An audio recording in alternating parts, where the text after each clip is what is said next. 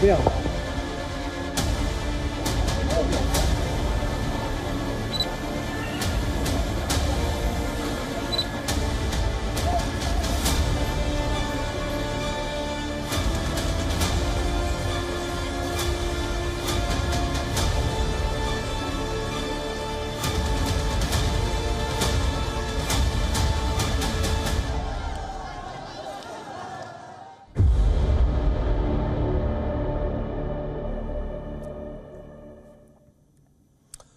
All right, so let's start with the big story that we're tracking on WION at this hour. At least about seven people have been killed and over 700 others have been seriously injured after a powerful 7.4 magnitude earthquake jolted Taiwan's capital, Taipei.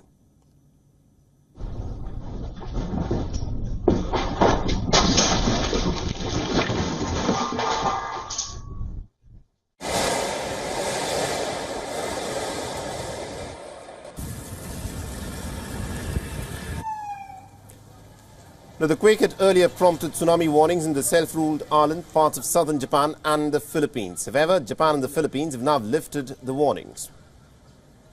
还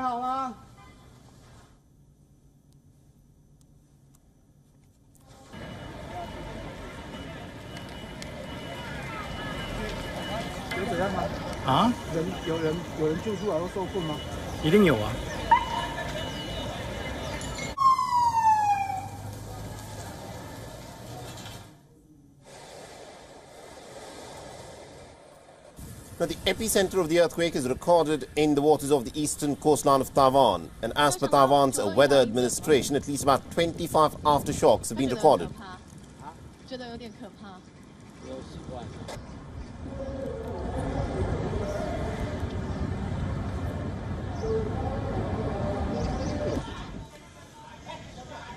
Now, the quake actually hit at a depth of about 15.5 kilometers, damaging over 100 buildings across the island and trapping at least about 77 people.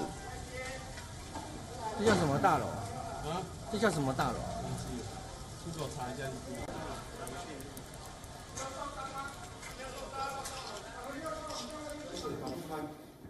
The search for the trapped people is, of course, ongoing. Emergency personnel were seen going door to door in the Hualien city to spot the distressed residents.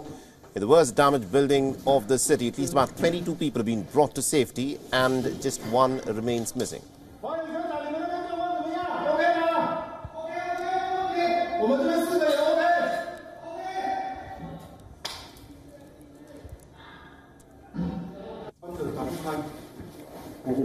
所以他应该是在楼梯里。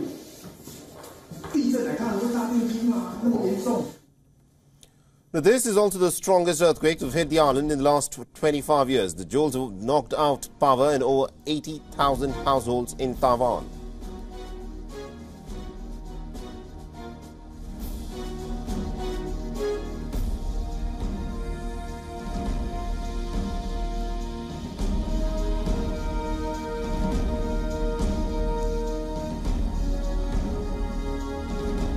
And apart from this, the tremors have also caused landslides across Taiwan. Witness videos show several vehicles being damaged after rocks rolled over following the earthquake.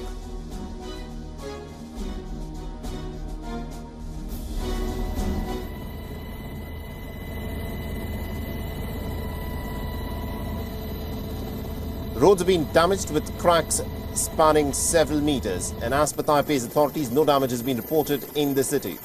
The rail functions are also back to running as per usual. However, delays are expected for the pretty aggressive tremors.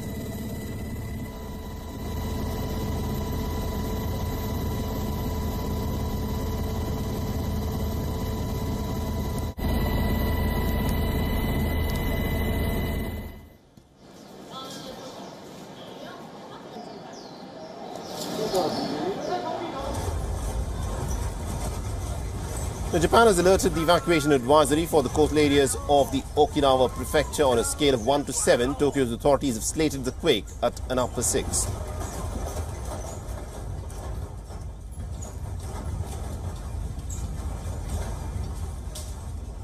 Now,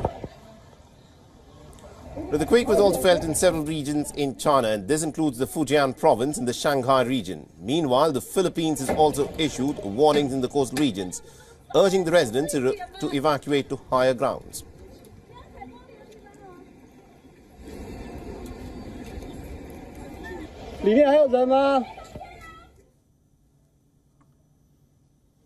The India Taipei Association has also issued an emergency helpline number and an email ID. In the wake of the quake, the helpline will help in assisting and guarding the Indian nationals who are who could be under distress in Taiwan. Now, before this, Taiwan was faced with its strongest earthquake back in 2016 and prior to that in 1999. In 2016, the quake of about 6.4 magnitude had jolted southern Taiwan and it had killed 116 people. While in the year 1999, an earthquake that measured 7.7 on the Richter scale had struck the Chi-Chi region of the island, claiming the lives of at least about 2,415 people. Now, the recent quake is the strongest one to have hit Taiwan since 1999.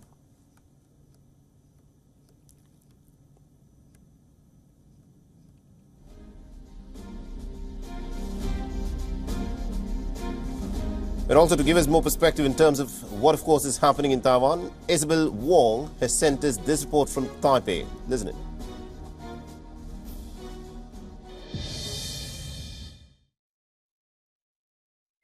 On early Wednesday morning, an earthquake of 7.2 magnitude struck Taiwan, claiming at least four lives and injuring 57 people by 1 p.m. local time. Hualien bore the brunt of this disaster. Landslides disrupted the Suhua Highway, vital for connecting Taiwan's north and eastern regions. The quake also led to the tilting of two Hualien buildings, with 22 individuals rescued in the aftermath.